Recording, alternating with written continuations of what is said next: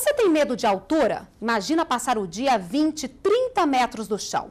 Pode parecer perigoso, mas não é. E para aumentar ainda mais a segurança dos operários da construção civil que trabalham longe do chão, o Ministério do Trabalho publicou uma norma que regulamenta as atividades em altura. Com o programa de aceleração do crescimento e o Minha Casa Minha Vida, a construção civil ganhou impulso nos últimos anos no país.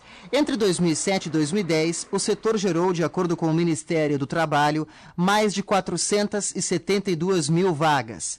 E para dar mais segurança a todos estes operários, o Ministério regulamentou a atividade em alturas a partir de 2 metros.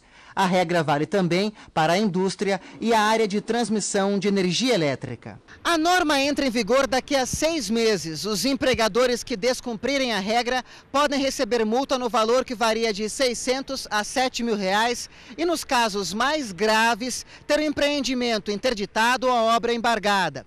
Os empregadores também vão ter a responsabilidade de capacitar os operários no trabalho em altura.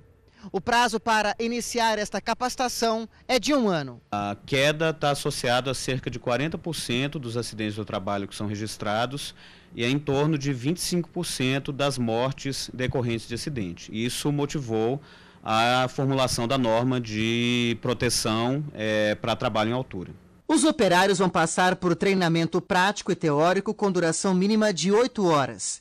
O curso vai incluir informações sobre o uso de equipamentos de segurança, os riscos da atividade na altura e como proceder em situações de emergência.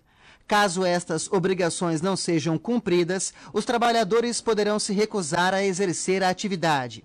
Os empregadores ainda vão ter de avaliar o estado de saúde dos funcionários, que só poderão trabalhar caso sejam aprovados nos exames médicos e psicológicos. O Sindicato dos Engenheiros de São Paulo avalia que os exames já fazem parte de convenções internacionais envolvendo a segurança do trabalho. A Organização Internacional do Trabalho já tem uma convenção com relação a essa questão. É, eu considero que a questão psico que é diferente do social, seja fundamental. Até porque as pessoas que a gente conhece, que são as maiores autoridades, são as pessoas que têm medo de altura. E ninguém, como psicólogo, é, é para conseguir detectar essa questão. Mais detalhes sobre a norma que regulamenta o trabalho em altura estão no site do Ministério do Trabalho.